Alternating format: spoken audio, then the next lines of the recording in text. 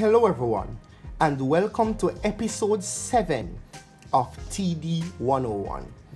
Episodes 7, 8, and 9 will be closely linked as they have to do with dividing a line in a number of parts.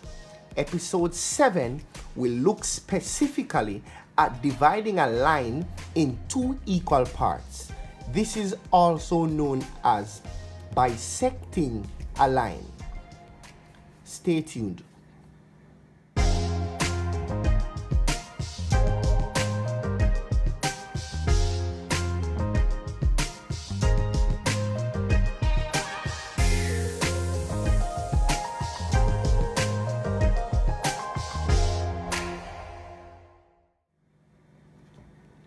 Okay, today we are going to bisect a line of measurement 10 centimeters or 100 millimeters. Now, before we can bisect that line, we have to firstly draw that line. Now, in drawing any line, the first thing we do is to draw a construction line of any length. Now, this must be estimated to be longer than the length of line that you want to draw. So for example, I'm going to draw a 10 centimeter line or a 100 millimeter line. This construction line must be longer so now that I've drawn that construction line, I'm going to go ahead to indicate the starting point on this line. I'm going to call this point A. Right. So after I've indicated that point and label it A, I'm going to go ahead, take my set square. Now this can be any set square and put the zero mark in line with point A as demonstrated here. I'm going to now go ahead and find 100 millimeters or 10 centimeters on the ruler. So 10, 20, 30, 40, 50, 60, 70, 80, 90, 100. 100 millimeters. Right at that mark, I'm going to put another point. This point will be called point B. I'm going to label it as such.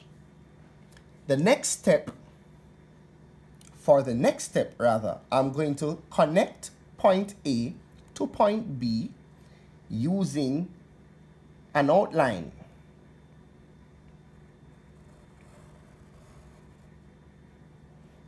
Like this. Now I have my line and in technical drawing, we name lines according to the starting point and the ending point of the line. So this line can now be called line AB. And this particular line measures 100 millimeters or 10 centimeters. Now, we can go ahead and bisect this line. Now, in bisecting this line, we will need our compass. Now, any compass can be used for this exercise, but I am recommending the compass that is referred to as the bow compass. You can go ahead on Google and find out the compass that goes by that name. Alternatively, the compass that is found in your geometry set can also be used it is a more economic option. Now, in using this compass, there are a few things that you have to note. Firstly, you have to ensure that the pencil that you're using with this compass is short, as a longer pencil can impede your workflow. So here's the compass. I'm going to now put the pencil in the compass. Another thing that you have to ensure is as you are inserting the pencil, you have to ensure that the pencil point is in line with the compass point, meaning It cannot be like this or like this. This will produce inaccuracies in your work. After you have ensured that the points are in line, you can go ahead and close your compass. In closing your compass, you may notice that at some points, it is not locking as tightly as it could. You can turn the pencil, this is a trial, trial and error exercise, turn the pencil until you have found the point that it is most secure. Then you go ahead and you tighten the pencil in the compass. Okay. Going forward now, you're going to open your compass to a convenient radius. And by radius, I mean the distance between the pencil point and the compass point. Now, all circles or all arcs have a radius, which will be determined by the distance between the pencil point and the compass point.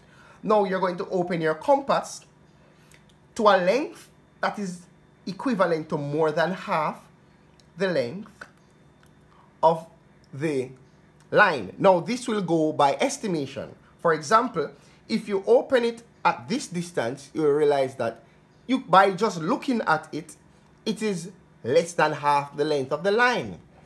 If you open it a bit further, you'll realize that it is longer than the line. So you can adjust until it is safe to assume that it is more than half the length, like what uh, you're seeing here at the moment. Now, once you have gotten into this convenient length, you are going to place the compass point at any of the starting points. I'm going to start with point A. You can start with point B if you wish. I am going to go ahead and swing an arc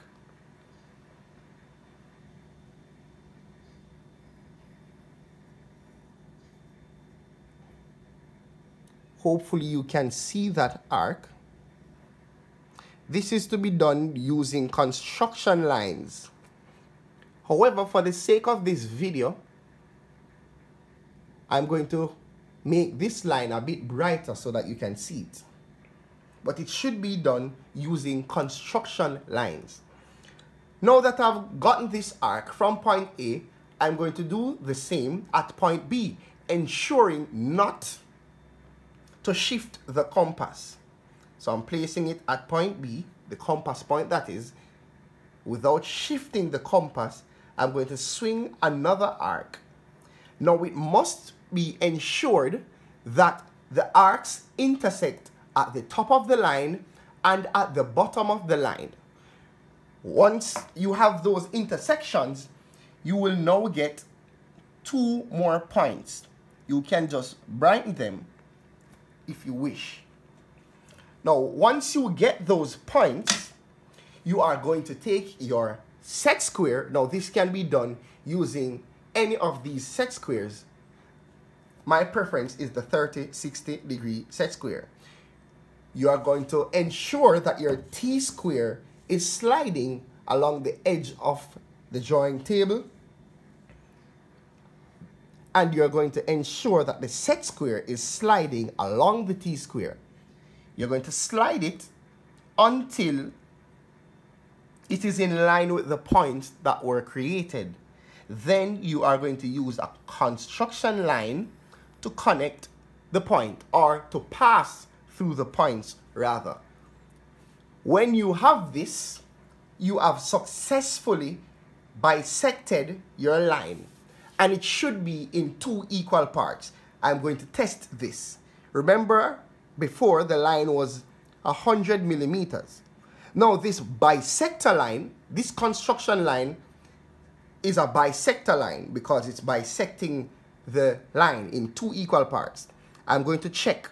If you notice at the 5 centimeter mark on my set square, you'll realize that it, it is perfectly in line with this bisector line. So there you have it, people. We have successfully bisected a line in two equal parts. Please like this video, share this video, and subscribe to the page for more videos of TD 101. Have a good day.